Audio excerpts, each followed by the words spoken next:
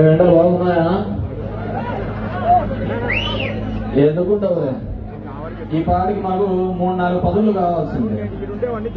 ఎప్పుడైతే ఆ దరిద్రుడు పాదయాత్ర మొదలు పెట్టాడో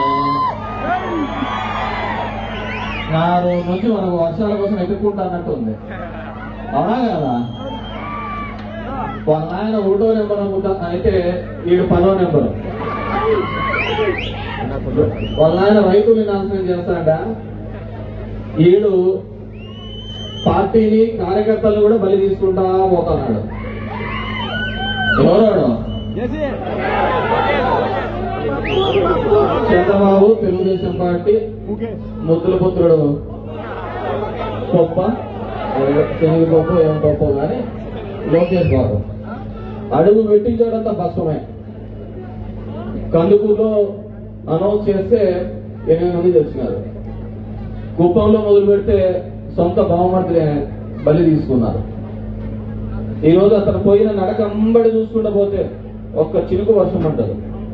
అంతకుముందు మూడు సంవత్సరాలు నాలుగు సంవత్సరాలు ఎట్లా ఉన్నాయి వర్షాలు? మొత్తం ఇళ్ళకి నీళ్ళు వస్తాయని మొత్తుకుంటాను ఇప్పుడు బయట ఇళ్ళలో పోయి నీళ్ళు అడగాలంటే ఏముంటుంది ఆయన ఈ పాదయాత్ర అయిపోయేంత వరకు మన కర్మ దిగేటట్లేదు మనం బాధపడుతుంది అంతటి దరిద్రమైన పాదాలు. వాందంటే ఈడ లోకల్ చేసి కానీ వాని ఇంకా దరిద్రమైంది. వానికంటే వీడు ఎక్కువ రక్తం కావాలని కోరుకునేవాడు. ఈరోజు ప్రజా సంక్షేమ యాత్రలో భాగంగా మన ప్రభుత్వం ఏం చేసింది? మన ప్రభుత్వం ఏం చేయబోతోంది? అని అందరికీ కూడా తెలియజేసుకుంటూ గ్రామ గ్రామ వాటి సమస్యలను అడుగుతూ వెళ్తున్న సందర్భం ఈరోజు చూడడం జరిగింది. దానిలో భాగంగా ఇప్పటికే మూడు మండలాలు అయిపోయినాయి. ఇది నాలుగో మండలం ఇంకా టౌన్ ఉంటాయి ముఖ్యంగా తాడిపత్రి ప్రాంతంలో ఇక్కడ నాయకులు కావచ్చు మిగతా వాళ్ళు కావచ్చు జేసీ అనే ఒక కుటుంబం యొక్క కబంధ హస్తాల మీద ప్రజానికం కావచ్చు ఇంకోటి కావచ్చు ఎప్పుడు కానీ జనం దగ్గరికి వాళ్ళు పోయిన సందర్భం ఎప్పుడు లేదు. జనం దగ్గరికి ఎప్పుడు పోలే. ఎంతున్నా కానీ వాళ్ళ ఇళ్ళకాడికి వినిపించుండేది ఓ చైర్ వేసుకొని కూర్చోంటాడు చుట్టూ నిలబడేది. వాళ్ళు ఏందని చెప్తే అది జీ హుజూర్ అని చెప్పేసుకుంటూ పోయే కాలం. ఆ రోజు నుంచి ఈ రోజు స్వతంత్రంగా మాట్లాడుతున్నాం స్వతంత్రంగా తిరుగుతున్నాం స్వతంత్రంగా పనులు చేసుకునే స్థాయికి తీసుకొని వచ్చినారంటే అది ఒక్క మా చిన్న కేతిరెడ్డి పెద్దారెడ్డి వల్లనే జరిగిందని చెప్పేసి నేను ఒక వైఎస్ఆర్ కాదు కాంగ్రెస్లో కాదు. తెలుగుదేశం పార్టీ నాయకులు కూడా ఆలోచించారు. ఎలా ఉండేవి మీ బతుకులు? మా చిన్న తాడిపత్రికి ఎంటర్ అయినాకనే మీకు కాఫీ టీ నీళ్ళు పోస్తున్నారు. అందరూ మీకు కాఫీ టీ నీళ్ళు పోసేవాడు కూడా లేదు. ఈరోజు వాళ్ళు నీళ్ళు చెప్తూ పోతూ ఉన్నారు. మేము ఇంటే ఇట్లా మేము చేసేవాళ్ళం ఇట్లా. నాకు తాడిపత్రి ప్రజానికం ఈ విధులతో తాడిపత్రి ప్రజానికం అంటే ప్రేమ వాళ్ళంటే వాళ్ళు లేకుండా ఉండలేమో చచ్చిపోతామని చెప్పేసి. వారి యొక్క ప్రేమ ఏ విధంగా అంటే అయితే ఇన్నాళ్ళు ఈ ముప్పై సంవత్సరాలు నెత్తిన పెట్టుకొని చేసినందుకు మీరు చూపించిన ప్రేమ ఇది. వీళ్ళకి చేసిన లాభం మీరు చేసేది ఏంటంటే గ్రామ గ్రామాల గొడవలు పెట్టినారు. గ్రామ గ్రామాల్లోనూ కూడా గొడవలు పెట్టడము వాళ్ళని ఇబ్బంది పెట్టడము వాళ్ళను ఏదో విధంగా నీ ఇంటి చుట్టూ తిరగలని అంటే నీ ఇంటి దగ్గర వాళ్ళు నీ దగ్గర నుంచి పోతే మళ్ళీ పోలీసు వాళ్ళతో పంపించేస్తాం. ఈ నాలుగు సంవత్సరాల్లో ఈ నియోజకవర్గంలో ఒక్క ఫ్యాక్షన్ మర్డర్ జరిగిందా అని చెప్పేసి నేను అడుగుతున్నాను ఈ రోజు ప్రతి ఒక్కరు కూడా ప్రతి ఒక్కరు కూడా ఏ విధంగా మన జీవన శైలి పోతుందో ఆలోచించు మొన్న ఏదో ప్రెస్ మీట్ పెట్టి నేను పెద్దవాడు ఊరికి వచ్చినప్పుడు వచ్చింది మాట్లాడడానికి ఆయన మండిందంట. ఏడో మండి అన్నాడు. వాడని నేను లండన్లో ఉన్నప్పుడు ప్లేట్లు క్లీన్ చేసేవాని అని అంటాడు మరి నీ కొడుకు నాతో పాటు లండన్ ఉన్నాడు. వాడేమో నా యువరానికి మసాజ్ చేస్తాడు? బ్రిటిష్ రానికి ఏమన్నా నీ కొడుకు మసాజ్ చేస్తాడు? అదే ప్రపంచ దేశాలకు పోతున్నప్పుడు ప్రతి ఒక్కరూ విద్యతో అభ్యసిస్తూ ఉంటారు. విద్యతో పాటు అక్కడ కొంతమంది ప్రొఫెసర్స్గా కొంతమంది ఈ విధంగా చేస్తుంటారు.